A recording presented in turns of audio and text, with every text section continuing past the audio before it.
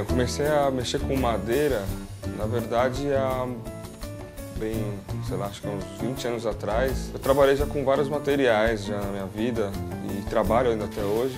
A partir de um determinado tempo eu comecei a ver que é, esculpir e trabalhar ela era muito mais interessante do que trabalhar um material mais sintético, mais plástico assim. O universo das madeiras é bem infinito. Eu geralmente trabalho com madeiras que eu encontro nas ruas, ou encontro na casa de amigos, ou móveis que eu às vezes me desfaço, ou algumas pessoas se desfazem. E assim eu consigo trabalhar com vários tipos de madeira ao mesmo tempo.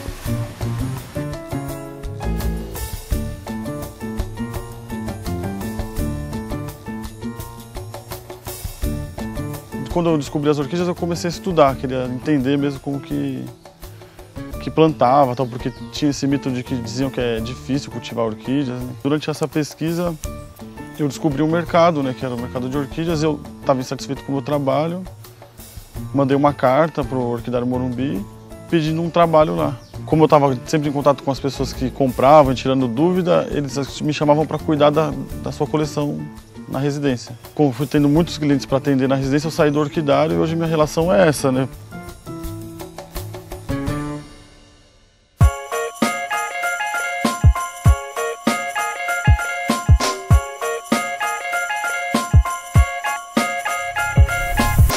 Eu queria que as pessoas vissem as orquídeas, mais pessoas vissem. Eu comecei a imaginar elas no meio urbano, eu pensei em fazer um, um orquidário que fosse uma escultura.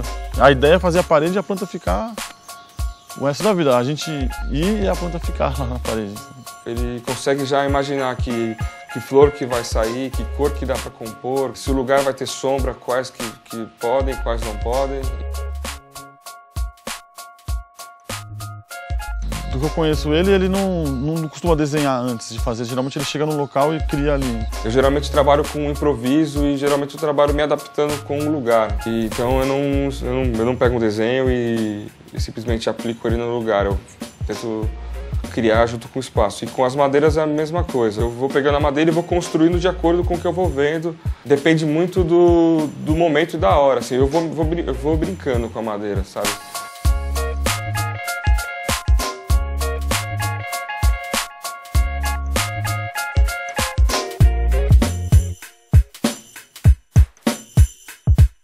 É algo novo que, que surgiu porque de uma, de uma parceria ou de uma amizade que é verdadeira, entende? Juntar esses dois mundos que são bem distintos e, e fazer uma outra coisa nova, né?